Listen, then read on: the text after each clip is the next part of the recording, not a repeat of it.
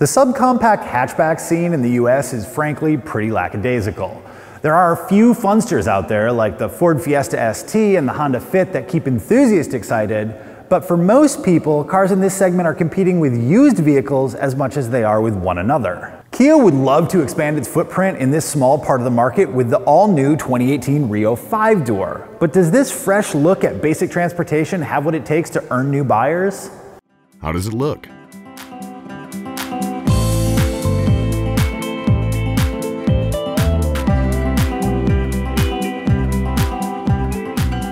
The Rio's design is pretty tidy, though it's quite conservative compared with the angular designs of the Fit and the Nissan Versa Note. I don't feel strongly enough about it to call it good or bad looking, so I'll just call it forgettable. How's the storage?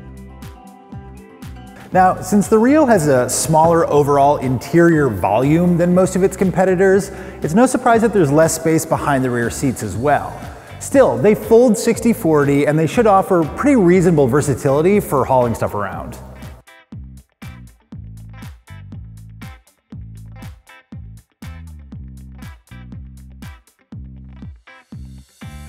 Kia has done a decent job with limited interior space here. There's a good sized tray for your phone or keys in front of the shifter, a couple of cup holders, and a deep bin under the armrest. Don't look for clever packaging, but there should be enough space to accommodate an average commuter. Is it roomy? Unfortunately, no car in this class has an overabundance of space for someone my size, but the Rio does measure out well in terms of head, leg, and shoulder room in the front seat when you look at the competitive set. Leg room is a real issue in the back seats, however, as the Kia is down at least a couple of inches to most everything. How does the interior feel?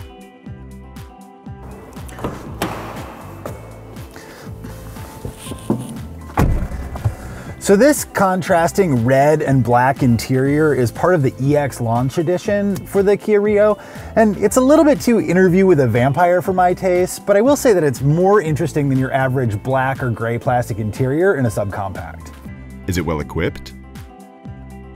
My Rio 5-door is the top trim EX version, and it offers a useful, if not extravagant, complement of standard features.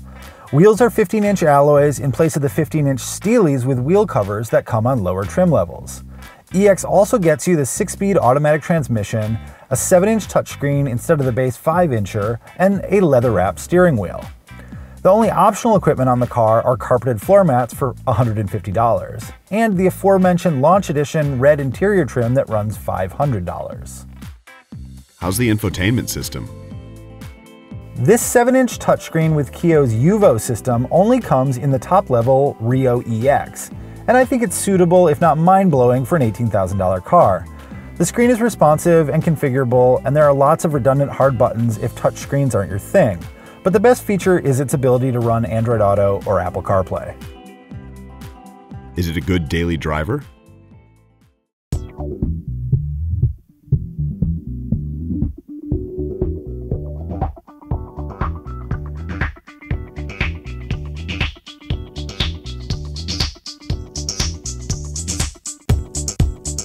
Now, there are definitely pluses and minuses to the Rio as a daily driver. On the plus side, I've got great forward visibility, and actually pretty great visibility all the way around. It's also really, really quiet. We're going a relatively slow speed right now, but I commuted a lot in this car, and even on the highway, it's a lot quieter than most other things in the class.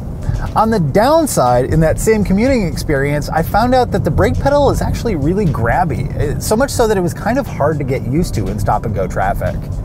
Is it fun to drive? So actually, the 1.6 liter four cylinder that's under the hood here is making 130 horsepower and 119 pound feet of torque, which is pretty good for the class, but it's certainly not enough to make the car feel quick. And honestly, it's more let down by the six speed automatic transmission than it is by the output. Even when you put this thing in sport mode, it's not great, but when you have it in regular mode, it just feels really, really reluctant to move quickly. And if you're hoping that this small, lightweight car can be saved from a lack of power by its handling, well, it's not. Uh, the handling isn't exactly sloppy, but it does understeer if you push it at all. I think the problem could probably be solved with better tires if you want to go that route, but at that point, why are you buying a Rio? How's the fuel economy?